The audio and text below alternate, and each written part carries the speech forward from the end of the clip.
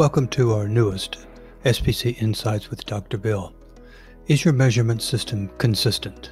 We're going to take a look at how you figure out if your measurement system is consistent. We rely on measurements for many things. Our measurement system is going to tell us if our product's within specifications, if we met our goal, or if our process is improving, getting worse, or staying the same. So what really makes a good measurement system? What does it take for you to trust your own measurement system?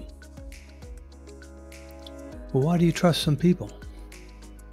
We know what to expect them from them because they're consistent. That's why we trust them. And the same is true with our measurement systems. We begin to trust them once we are getting consistent results.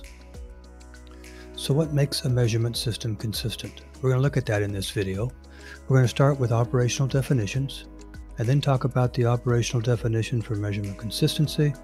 We're going to show an example. We're going to talk then about recalibration and then we're going to summarize. So let's start with operational definitions and Dr. Deming. So what does an operational definition do? Dr. W. Edwards Deming said it does the following.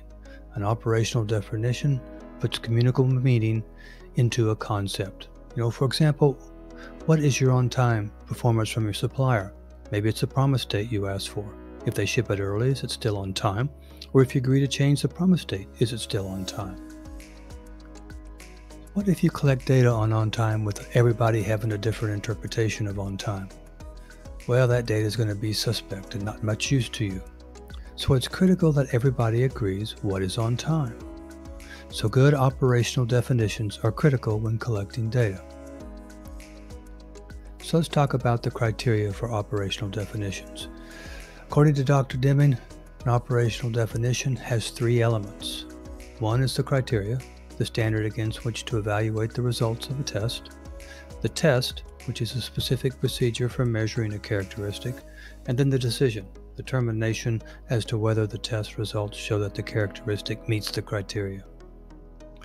So good operational definition enables everyone to use and understand a term in the same way every time.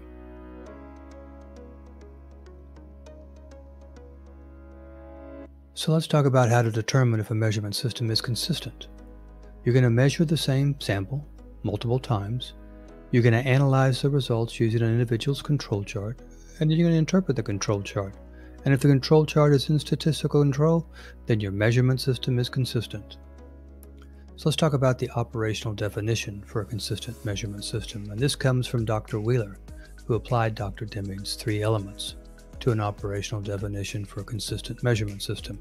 We're going to look at the criteria, the test, and the decision. If you want more information, look at EMP3 by Dr. Wheeler.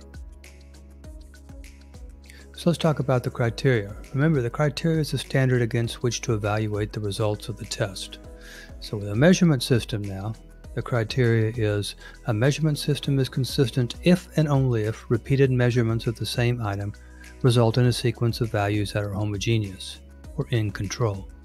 So that's going to be their test, and the test is a specific procedure for measuring a characteristic. An individual's control chart is used to determine if those values are homogeneous. The individual values are plotted on the X chart, as shown here, and then the moving range, which is between consecutive points, are plotting on the moving range chart. The average and, average and control limits are calculated using the formulas as normal, and they're put on the graph. And then you have the decision, the termination as to whether the test results show that the characteristic meets the criteria. So the measurement process is consistent. If there are no points beyond the control limits in the control chart, either one of them, the X or the moving range, and no patterns, such as seven points in a row above or below the average. Measurement system is not going to be consistent when you have points beyond the control limits or patterns are present, and you also need at least 10 degrees of freedom in the data. So let's take a look at an example of how you do that. So what we're going to do is we're going to measure the same sample 20 times over. Same operator measuring the same sample. And here are the results. Then we're going to take those results and we're going to analyze them using an individual's control chart. So we'll take a look first at the X control chart where you plot the repeated measurements and you calculate an average and you calculate the control limits. So there are no out of control points and there are no patterns. So this means that the X control chart is consistent. It's in statistical control. Now let's look at the same thing with the moving range chart. Here's the moving range chart with the points plotted, the average and the upper control limits. There are no out of control points and no patterns, so the moving range control chart is consistent. It's in statistical control. So, is the measurement system consistent? Since both the X and moving range chart are stable, then the measurement process is consistent. If there had been any out of control points, then the measurement process would not be consistent. So is this the end of the story? We have a measurement system that's consistent? Well, you should continue to monitor your measurement process over time, using the individual's chart as we've been doing. You want to monitor the stability as well as find and eliminate any special causes of variation that occur.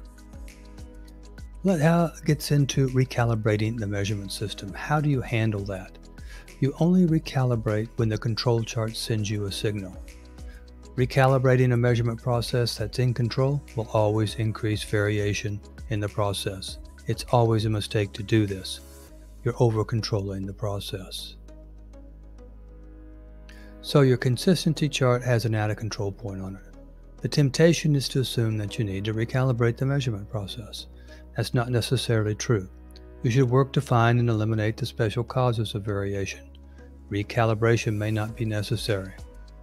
So let's take up a summary of what we've covered with the consistent measurement system.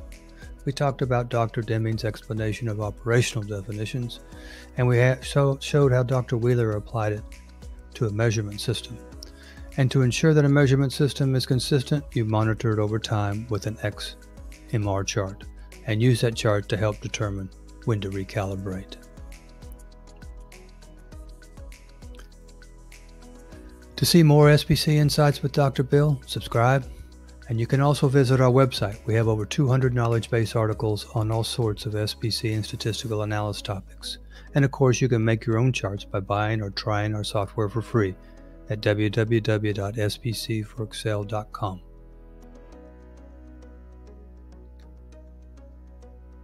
Thanks for watching the video. Hope you enjoyed it.